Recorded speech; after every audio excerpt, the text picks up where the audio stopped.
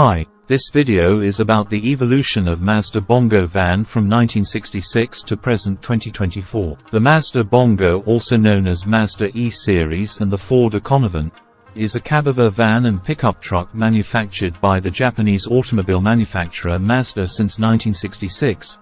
It has been built with rear, middle, as well as front-mounted engines. Mazda first introduced its small van, the Bongo, in May 1966.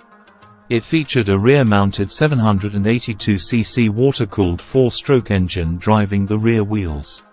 The rear bigger-engined F1000 Bongo has a 987cc PB overhead valve inline-four engine.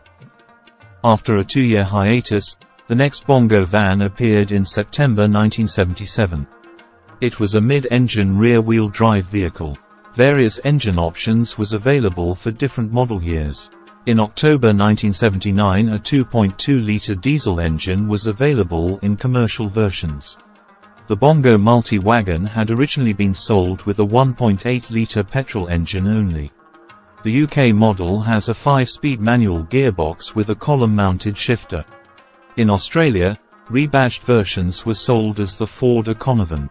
Luxury-oriented passenger models were sold under the Ford Spectron name as high-roof 8-seaters.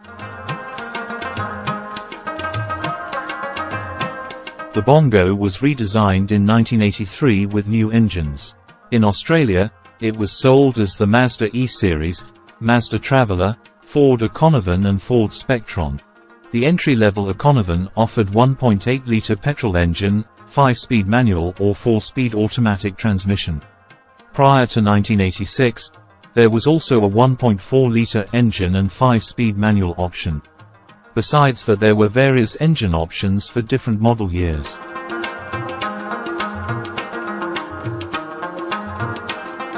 In June 1999, a new generation of Bongo vans went on sale, which were also rebadged as the Mazda E-Series, Ford Econovan, Mitsubishi Delica van, truck, and Nissan Vanette.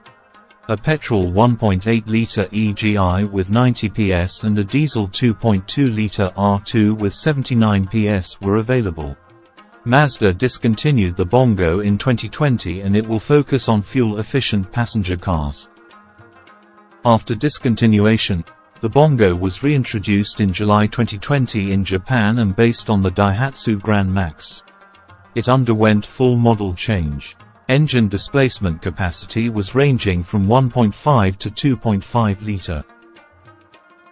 Thanks for watching Automotive Revolution. Please subscribe my channel.